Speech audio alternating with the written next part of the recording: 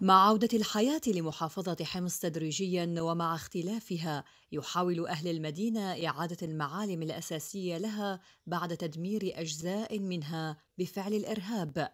المقاهي الشعبية التي كانت متنفسا لأهل المدينة قبل الأزمة بدأت اليوم تعود بحلة أجمل وتطور أكبر.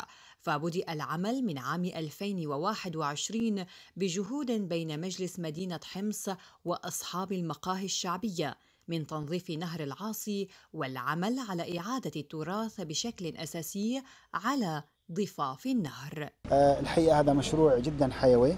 نحن بنحاول كمجلس مدينة حمص نشتغل على المشاريع اللي من خلالها ممكن إحياء التراث الحمصي وتاريخ مدينة حمص العريق آه، من خلال مشاريع بتفوت على الذاكرة الحمصية.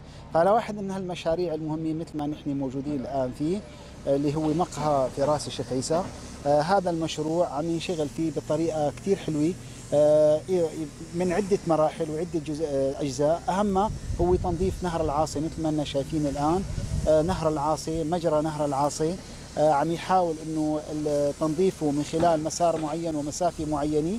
آه بيتم تنظيفه من خلال آه تنظيف المسار تبعه ضمن مساحة معينة وبالتالي بتصفى المي وبالتالي بتظهر المي بطريقة اللي كانت موجودة فيها سابقا. مقاه شعبية تستقبل الأهالي وتقدم خدماتها مجانا ما جعلها مقصدا اساسيا لأهالي حمص. عبارة عن مقاهي شعبية رقم واحد بضم كافة شرائح المجتمع وبالوقت الحالي المشروع بقى مجاني بالمطلق يعني. عم تجي الناس من الساعة 8 الصبح للساعة 4 الظهر باستثناء يوم الجمعة لأنه يوم عطله يعني.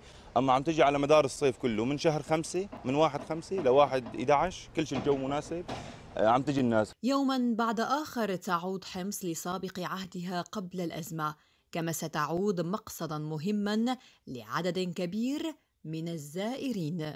كند الخضر لقناة سما الفضائية حمص. أكد المدير العام لشركة